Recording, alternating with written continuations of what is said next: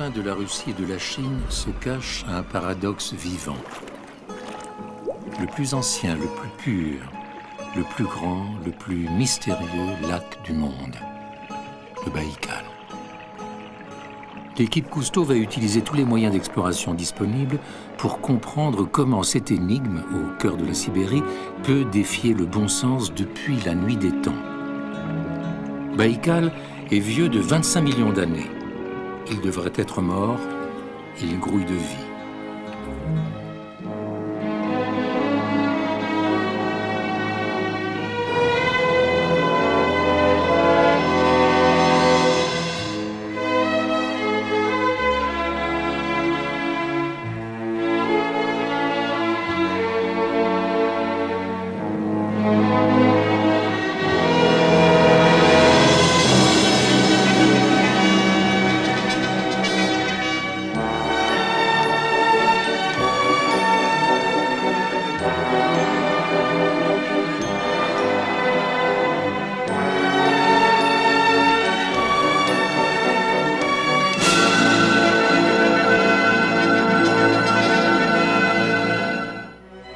Vite, ma curiosité m'a permis d'écouter et de comprendre l'eau multiforme.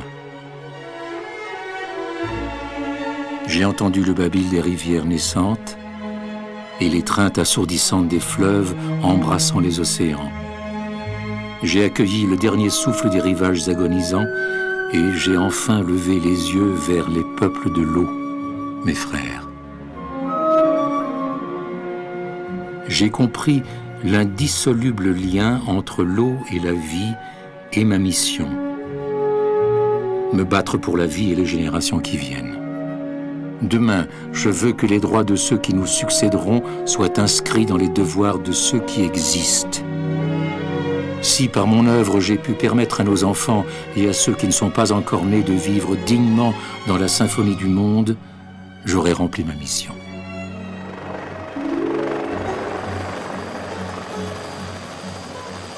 À la frontière de la Russie et de la Mongolie, l'équipe Cousteau est mise au défi par une des expéditions les plus audacieuses jamais entreprises, l'exploration du lac Baïkal.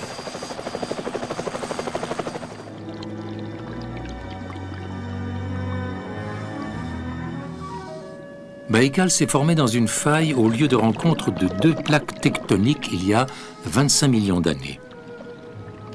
Cette eau est si pure que c'est presque de l'eau distillée. La visibilité est de 40 mètres et la lumière pénètre jusqu'à 100 mètres permettant de plonger sans fil d'Ariane, comme dans un rêve.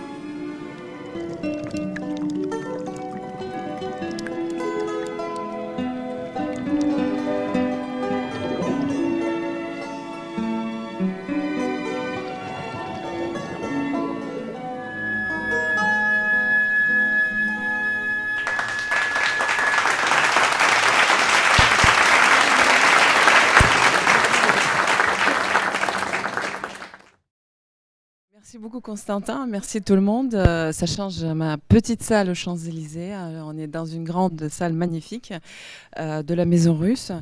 Donc, devant moi, il faut quand même, j'imagine que vous connaissez, mais je dois présenter Francine Cousteau, présidente de l'association The Cousteau Society et l'association Équipe Cousteau et euh, Franck Machu, directeur des archives cinématographiques et photographiques, et encore plus, et on va en parler plus tard. On aura avec nous aujourd'hui, ça c'est confirmé euh, pratiquement 150%, Vitaly Sichov, expert de la commission océanographique intergouvernementale de l'UNESCO, membre honoraire du service euh, hydrométéorologique de Russie. Donc vous avez mentionner vos relations de l'équipe entre vous et avec, euh, euh, avec la Russie, avec les organismes de recherche et de sciences à l'époque, qui vous avez dit que vos souvenirs sont jalonnés de moments très importants. Quels sont ces moments? Francine, parlez-nous-en. Je vous remercie, Irina. C'est très émouvant pour moi d'être euh, ici ce soir avec vous. Je vous remercie de votre présence et de l'attention que vous prêtez euh, à l'œuvre du commandant et à son souvenir. Il est vrai que ce film était son dernier film Et c'est pour la raison pour laquelle nous, nous célébrons son œuvre au départ de, ce film. À vrai dire, oui, les, choses se sont un peu précipitées. Le commandant tenait beaucoup à rendre cet hommage à l'eau. Et euh, donc il a choisi euh, le lac Baïkal à ce moment-là. Je dirais, euh, il aurait pu aller dans beaucoup d'autres endroits en Russie, dans la mesure où sa première sa, première promenade, si je dis longue promenade en Russie, c'est quand il est parti en train traverser toutes les Russies. il avait 26 ans. Et euh, il est tombé sous le charme pendant ce mois et demi de voyage qu'a duré cette expédition. Euh, il a appris le russe. Et euh, il, en a gardé beaucoup d'émotions. Donc il, il, lui tardait de revenir en Russie. Le lac Baïkal a pour lui été l'endroit idéal pour nous montrer la valeur de l'eau et euh, ce que nous devions, la route que nous devions suivre. Et c'est pour ça qu'il a choisi ce lac. Certes, c'est un lac magnifique, certes, c'est important pour la culture russe, mais aussi pour nous tous et pour les générations qui viennent de comprendre ce que signifie cette beauté naturelle qui existe encore. Justement, dans le film, je pense, il dit que l'eau et la vie euh, sont liés et c'est un lien indissoluble. C'est la symphonie euh, du monde. C'est très, euh, c'est beau comme parole. Qu'est-ce qu'il voulait vraiment transmettre aux générations futures? Et j'ose demander s'il était parmi nous aujourd'hui. Qu'est-ce qu'il aurait dit au public? Alors, je dois dire qu'il a dit beaucoup de choses. Il y a 30 ans, il y a 40 ans, il y a 50 ans. Et il a dit et répété ce que nous découvrons nous aujourd'hui. Donc il serait certainement, euh, il ne serait pas surpris, mais de notre côté c'est une nature euh, courageuse et, euh, je pense qu'il aurait essayé quand même de nous aider à trouver des solutions. Sachant qu'à travers ce film, il explique aussi la complexité de la vie. Et il nous rappelle que ce n'est pas seulement en réglant un problème, par exemple celui de la pollution dans le lac, qu'on va régler les autres problèmes. C'est en les réglant tous ensemble, en créant cette harmonie dont il a tellement parlé dans les travaux qu'il a fait justement avec l'UNESCO sur euh, euh, une forme d'éducation qui permet cette approche euh, systémique et qui évite de régler les, les problèmes les uns à côté des autres au lieu de les régler tous ensemble. Alors, je ne veux pas prendre la parole trop longtemps, mais c'est vrai que je suis attachée à ce que nous puissions euh, nous souvenir que le commandant, c'est pas seulement des très belles explorations, des aventures extraordinaires, c'est aussi un homme d'une grande bonté qui a voulu nous, donner un message, qui a voulu nous aider à euh, traverser les siècles qui viennent en ayant conscience des difficultés que ça représenterait. Donc il ne serait pas surpris, mais je crois qu'il continuera à nous aider, et c'est un peu la mission qu'il nous a confiée. C'est peut-être aussi à cause de ça que nous euh, ne faisons plus le même type de travail que nous avons fait avec lui. D'abord parce que c'était lui et c'était son œuvre, mais parce qu'il nous a appris à réfléchir sur la façon de régler des problèmes. Et euh, c'est cette, euh, cette manière de faire que j'espère arriver à, passer aux jeunes générations. Ça, vraiment, je l'espère, parce que c'est une euh, façon de faire qui n'est pas encore appliquée aujourd'hui. Et que ce soit à travers les, les chaires d'université que nous avons créées avec l'UNESCO, que ce soit à travers la volonté de de faire admettre les droits des générations futures dans le sens où lui l'avait conçu. Je pense que tout ça, c'est un ensemble qui doit donner de l'espoir à notre jeunesse. Et à condition que nous, qui avons eu le privilège de passer à travers tout ça sans en souffrir, aujourd'hui, nous prenions conscience de la nécessité d'aider la nature à retrouver son équilibre et à notre jeunesse à avoir un avenir. Quelle était son inquiétude la plus profonde à la fin peut-être de sa vie? Alors, euh, je dois dire que son inquiétude la plus profonde était la surpopulation. Parce qu'il euh, se rendait bien compte des drames qui pouvaient être entraînés par la surpopulation, que ce soit euh, pour la nourriture, que ce soit pour l'éducation, enfin dans, tous les domaines. il avait conscience qu'il deviendrait difficile de donner à chaque être humain des bonnes conditions de vie. Donc il avait anticipé tous les drames qui pourraient se produire et que nous voyons malheureusement euh, tous les jours, quels que soient les, les efforts que nous fassions. Euh, nous nous rendons bien compte que ce n'est pas la peine d'aller bien loin pour voir euh, que sa crainte était justifiée. Parlant de la surpopulation, et dans l'une des vidéos que j'ai vues euh, sur la société, euh, sur le site de la Société géographique russe, dans la vidéo que, dont je pense M. Sitchov en parlait plus tard, il disait qu'à l'époque, il y avait beaucoup de scientifiques dans les années 60, et notamment à l'Union soviétique, qui idéalisaient l'océan et qui justement prévoyaient ce problème de la surpopulation. Et il y avait des architectes voilà, qui, voulaient créer des maisons euh, sous-marine où euh, bah, cette idée a été abandonnée après quelques années plus tard, mais merci, euh, quelques années plus tard. mais effectivement, cette idée existait et déjà, il s'agissait justement de ces problématiques qu'on vous dit on vit aujourd'hui, malheureusement. Je, Franck, on va passer la parole à Franck. ce qui est passionnant, euh, chez vous, vous êtes un ingénieur par formation et euh, ça fait déjà à peu près 45 ans, euh, voire plus, que vous, avez la même passion. Et normalement, la passion dure au bout de trois ans, c'est terminé, on sait tous. Et là, apparemment, non. Et donc, votre passion, c'est la vie et les œuvres de Jacques-Yves Cousteau. Dans, euh, vous êtes ingénieur, donc pour formation que j'ai dit, vous avez dédié euh, toutes vos recherches depuis des années euh, aux inventions dont Jacques-Yves Cousteau, et on voit ça dans, euh, dans tous les films, justement, ne serait-ce que le scaphandre autonome qui a été certifié par lui, euh, les soucoupes plongeantes, j'ai découvert quelque chose d'incroyable.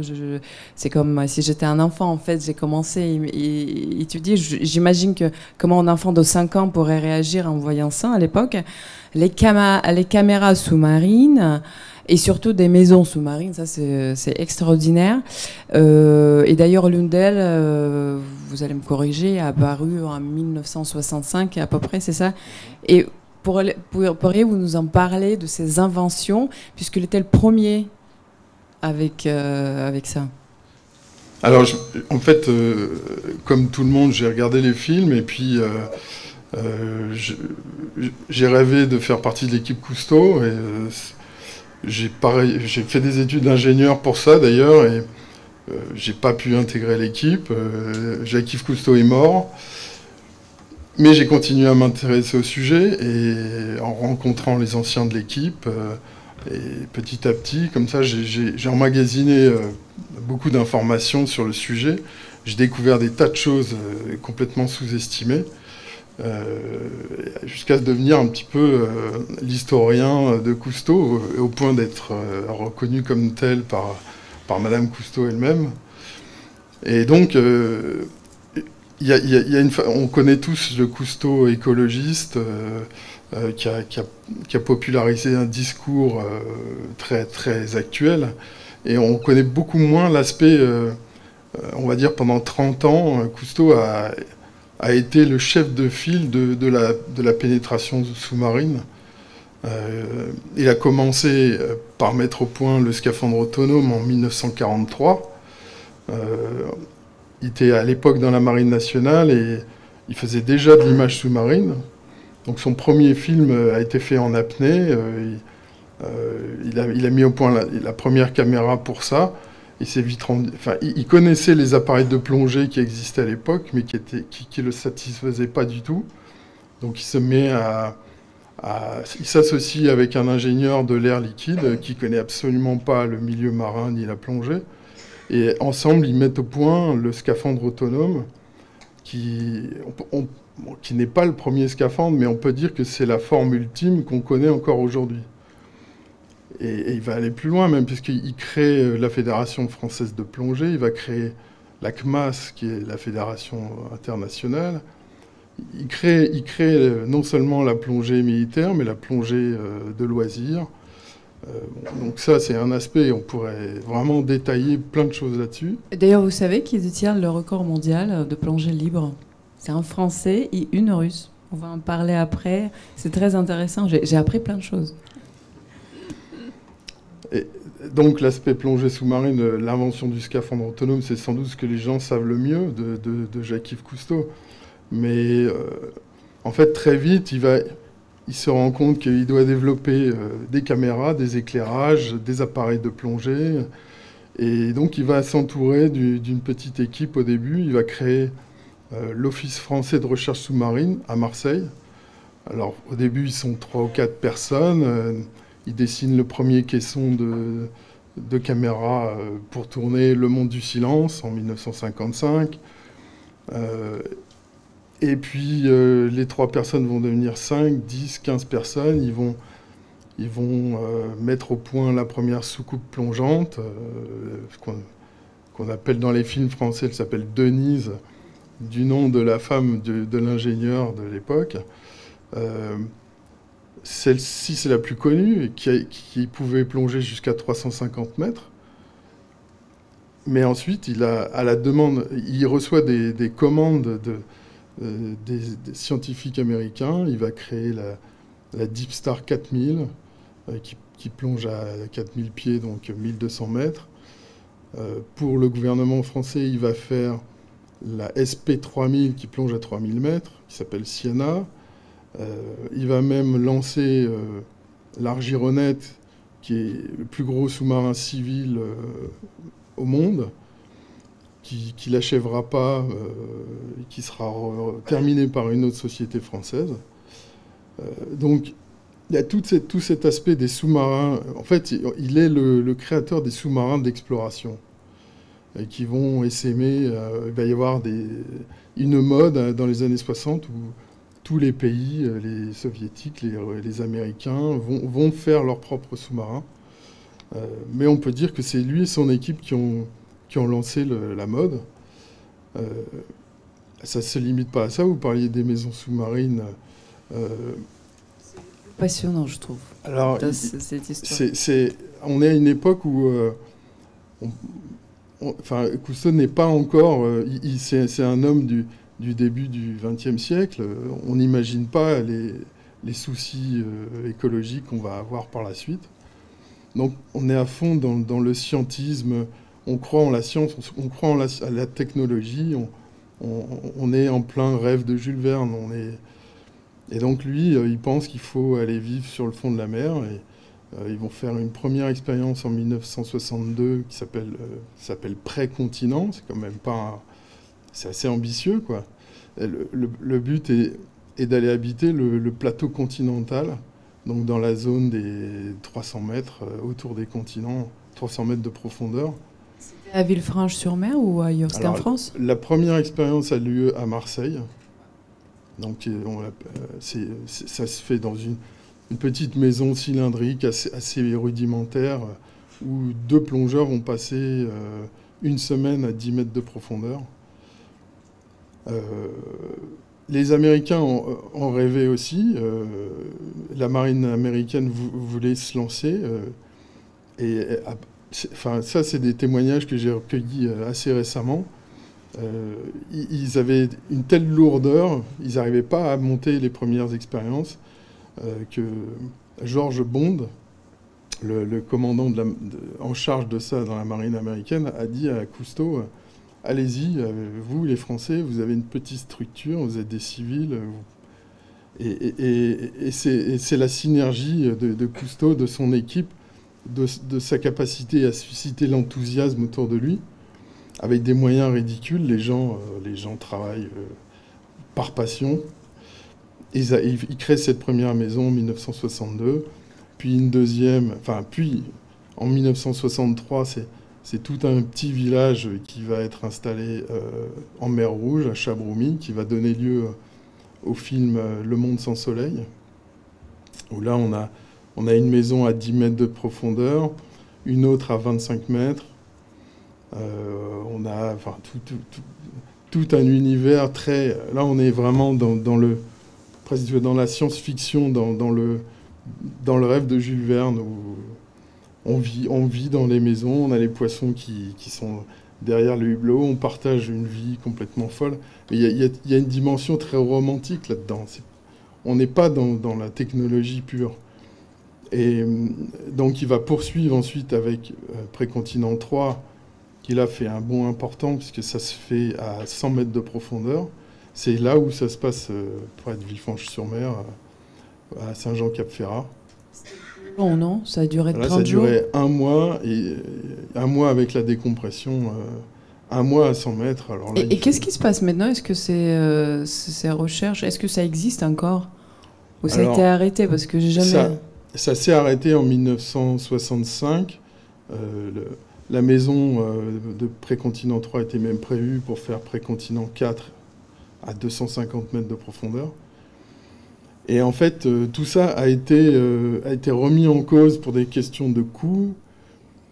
Il y a une société française qui s'appelait la, COMEX qui a, fait, qui a énormément travaillé dans la plongée industrielle, qui a montré que c'était plus rentable d'utiliser des ascenseurs, en fait, des toiles de plongée, que les plongeurs restent à saturation dans des caissons sur un bateau et qu'on les descende sur le site pour travailler tous les jours. Donc Cousteau, lui, rêvait, lui, il avait une dimension romantique importante, et ça, a été balayé par le, pragmatisme économique. Ce qui fait que, euh, voilà, c'est des idées qui n'ont pas continué après effectivement, le temps de romantisme est, pas, est passé, c'est sûr. Francine, vous parlez-nous un petit peu, euh, très rapidement, des travaux qui ont été faits avec l'Institut Mendeleïev euh, à Moscou, Saint-Pétersbourg, Nijni Novgorod, vite fait, puisque ce sont les liens justement franco-russes. Travailler déjà depuis longtemps avec, euh, avec la Russie, donc avec l'Institut Mendeleïev qui lui décernera un honoris causa euh, quelques, quelques, temps euh, après son décès. Et puis, nous avons continué à nous intéresser à, la Russie parce que euh, cet immense pays nous permettait de probablement mieux comprendre comment pouvait fonctionner l'environnement pratiquement au niveau d'un continent.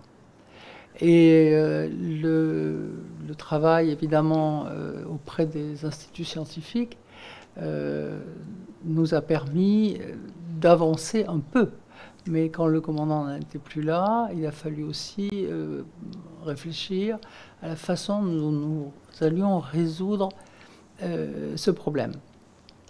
À vrai dire, ce qui était important, c'était d'appliquer ce principe d'éco-technique que vous avez évoqué tout à l'heure. Le principe euh, d'une approche systémique euh, dans la résolution des problèmes liés à l'environnement.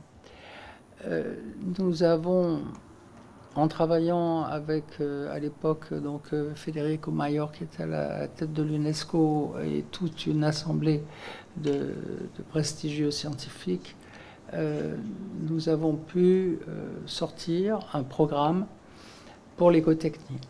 Quand le commandant est mort, il y avait cinq chaires d'université. La première avait été euh, l'université libre de Bruxelles.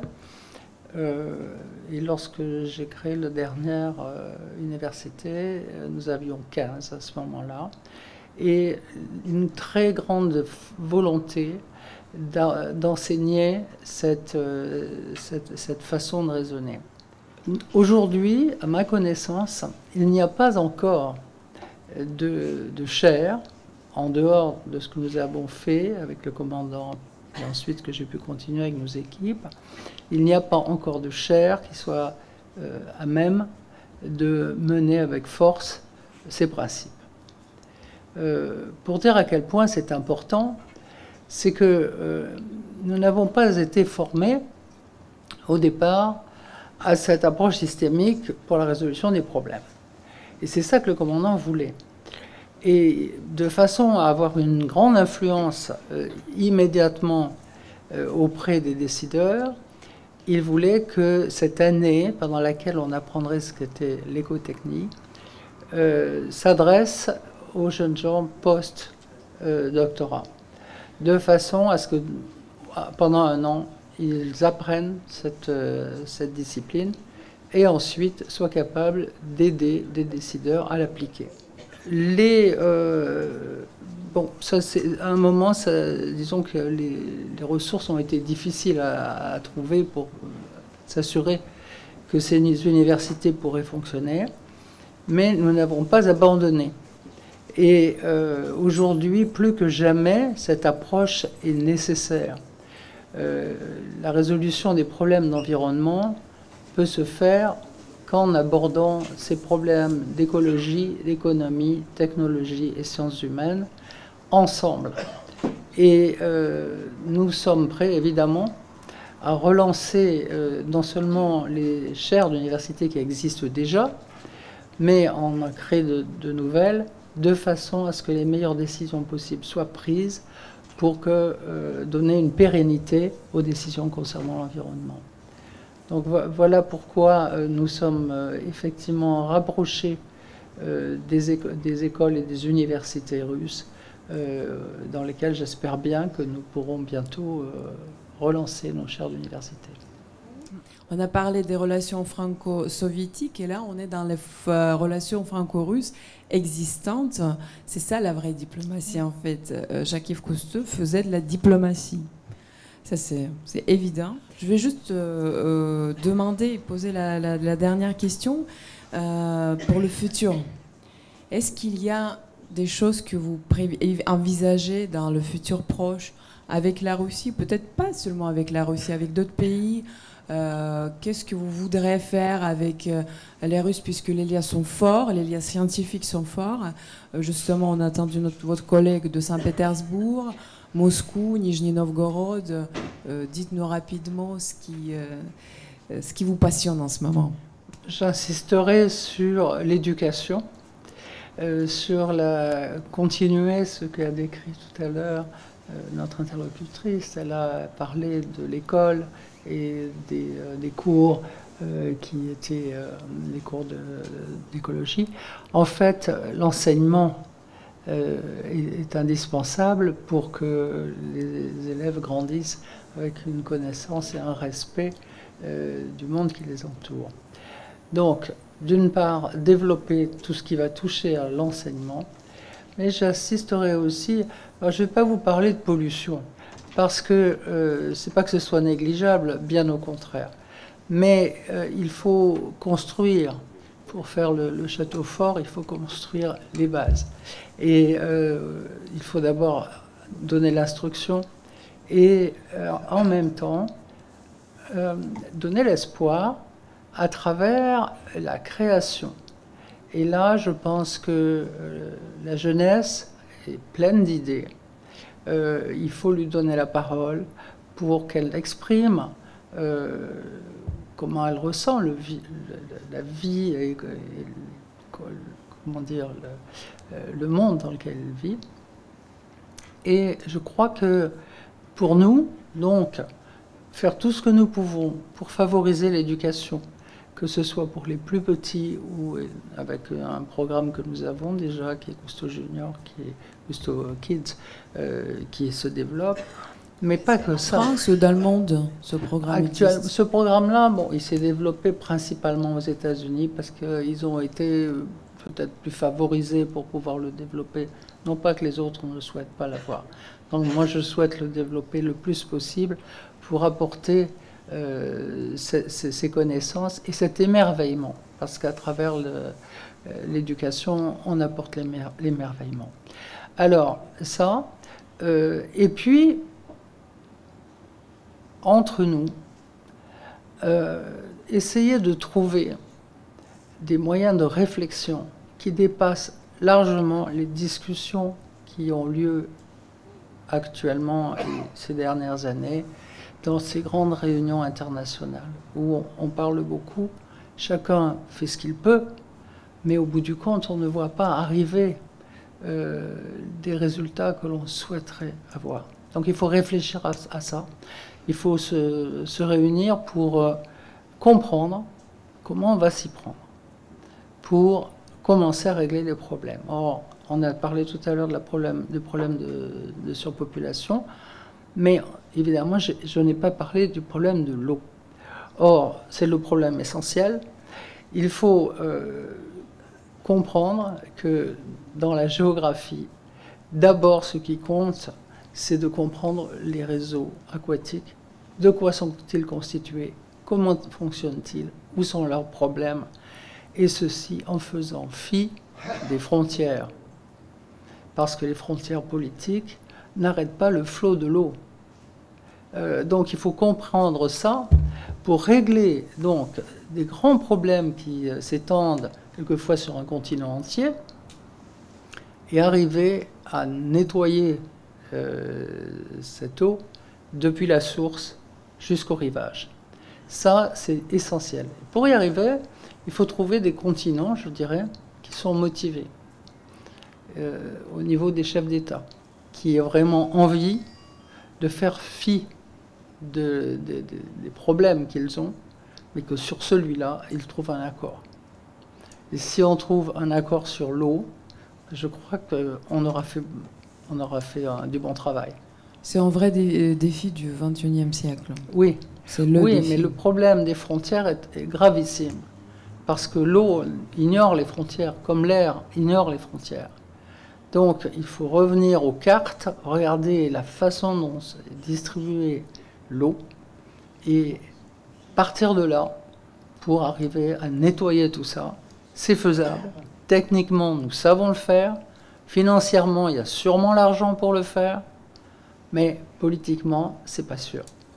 Bah, Donc il faut arriver à, transformer ça et à, faire admettre que notre vie n'aura pas d'avenir si nous n'avons plus d'eau. Euh, je me souviens par rapport à ce que vous venez d'évoquer euh, du retour du commandant, il rentrait de, Californie et il a ramené un, un odule qu'il n'était pas allé chercher lui, mais qu'on lui avait remis au, cours euh, d'une discussion qu'il avait eue avec d'autres scientifiques.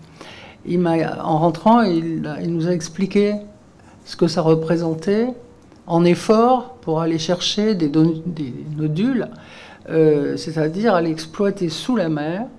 Euh, il m'a dit, mais c'est de la folie furieuse parce que euh, ça va coûter beaucoup plus cher que, n'importe quoi d'autre. Et on va tout saccager. Voilà exactement ce qu'il en pensait. Je ne pense pas qu'il aurait changé d'avis depuis.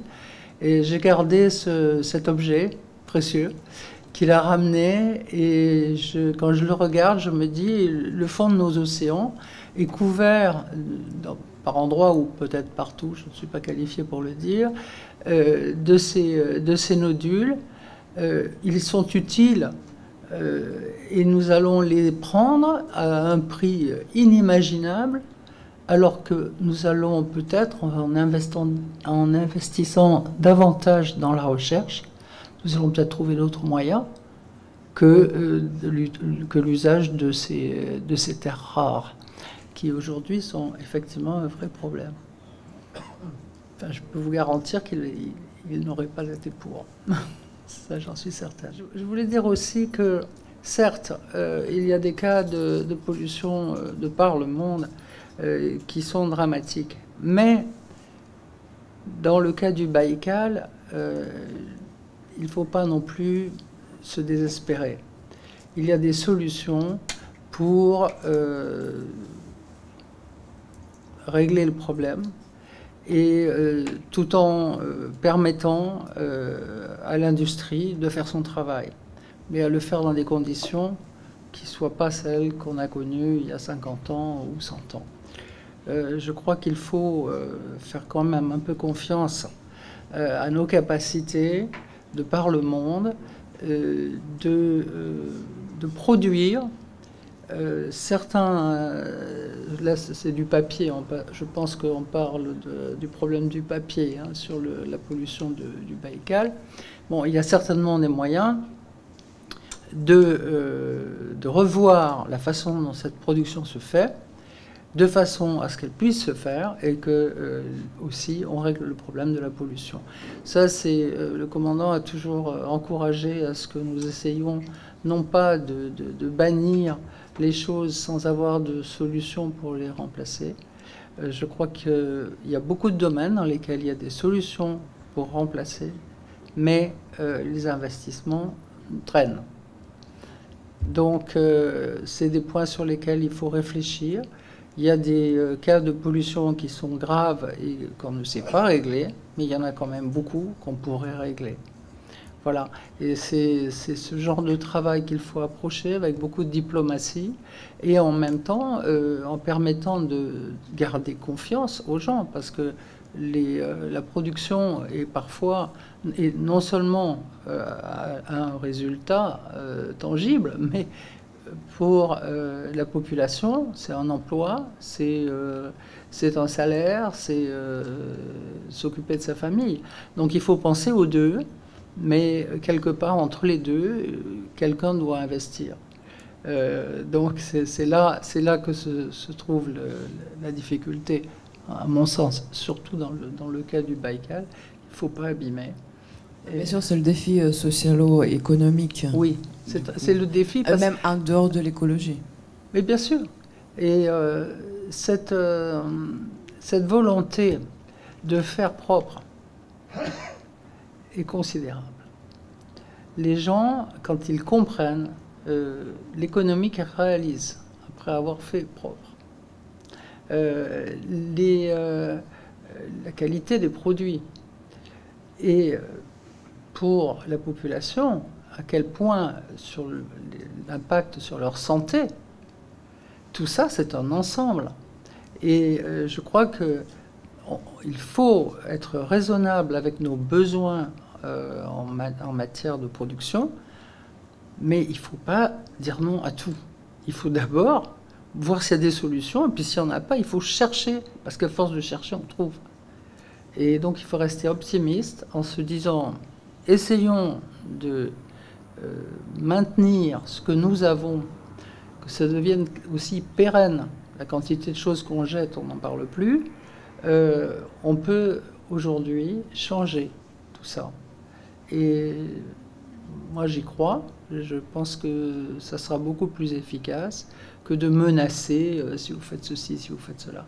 Non. La solution, c'est pas de menacer les gens. La solution, c'est de les amener à réfléchir et à participer. Parce que chaque personne peut apporter quelque chose. Merci Francine, soyons effectivement euh, positifs. Merci beaucoup. Donc euh, je remercie tout le monde euh, ici présent à la Maison Russe. Bon, je vais quand même prêcher ma paroisse. Le dialogue franco-russe, c'est 120 minutes de Champs-Élysées. Je suis là, je vous attends pour des questions autres que la géographie, c'est-à-dire la politique justement. Donc je vous attends notamment le 8 décembre prochain au sujet de l'Afrique et les relations la Russie, l'Afrique, la France. Voilà. Merci beaucoup. Merci à tout le monde et à très bientôt.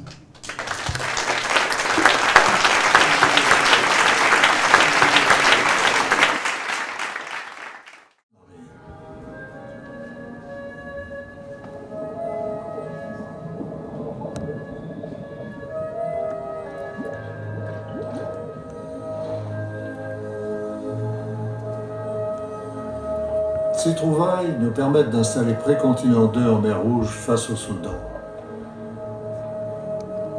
La maison principale est située à 10 mètres. Elle sert de base de contrôle pour le reste du campement.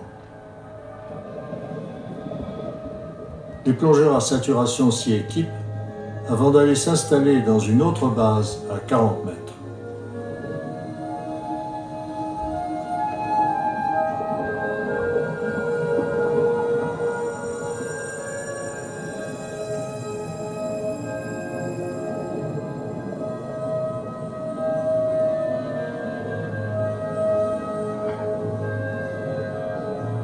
De là, ils iront couramment travailler à 100 mètres.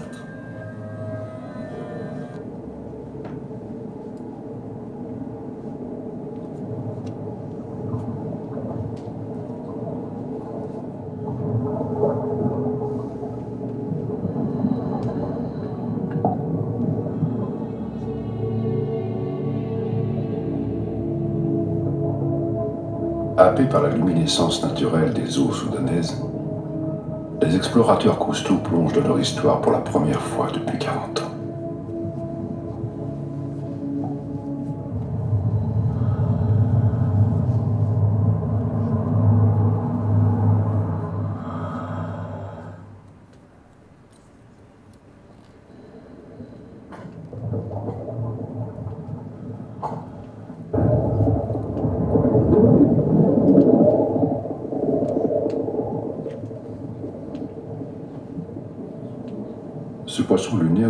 vers l'ombre furtive du commandant Cousteau.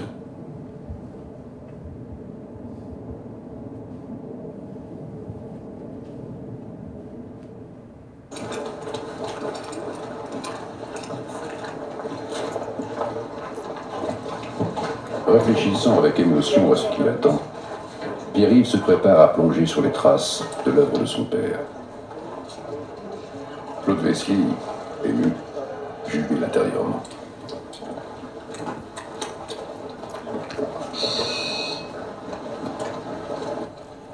Bien peu de gens ont la chance de revisiter leur histoire.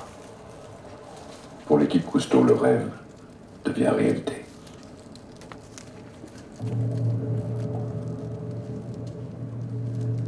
Dans la pâle lueur du matin, l'abri de la soucoupe est presque intact dans ces nids de corail. La vie est partout comme si ces lieux attendaient depuis 40 ans le retour de l'équipe Cousteau.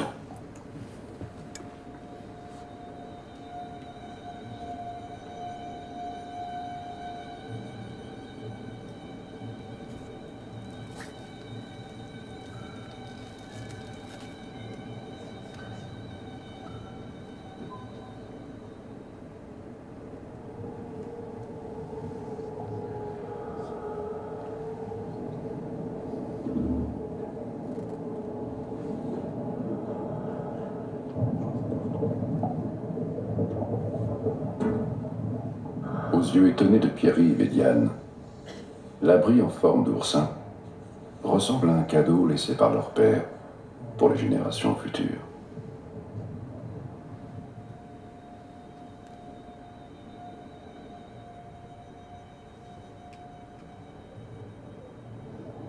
Jacques Cousteau a inventé ces lieux.